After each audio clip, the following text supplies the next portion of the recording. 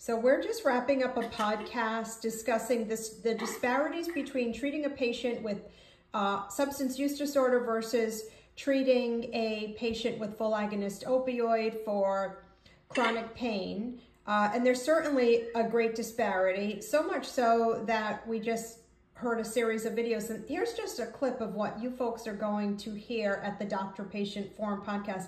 Listen to how one doctor thinks about pain patients people realize that, you know, when treating, when you have these contracts for MAT versus having the contracts for treating chronic pain, they're, they're sort of two different animals. Um, and, you know, I certainly have a lot higher tolerance for breaking the rules with MAT um, than I do with, with, with, um, with, with chronic pain. Uh, Okay, so if you if you're a MAT recipient and you take other drugs while you're on Suboxone or your Suboxone is out of your system, he's like that's fine. But if you're a pain patient in a wheelchair and you're dependent on full agonist opioids, you can't get to your random pill count. Well, he's gonna he's going to discharge you as a patient. Discriminate much?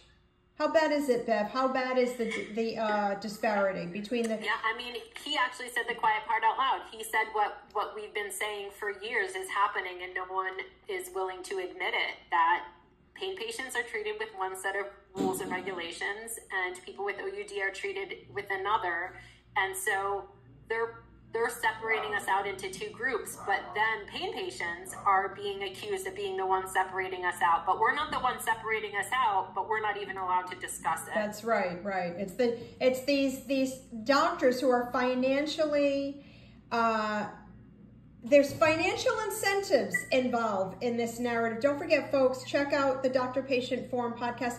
We are heading up on our 49th podcast, uh, and you can tune into that podcast wherever you get your podcast, and you can also find a playlist on our website, the drpatientforum.com. You folks keep fighting, and we're going to do the same.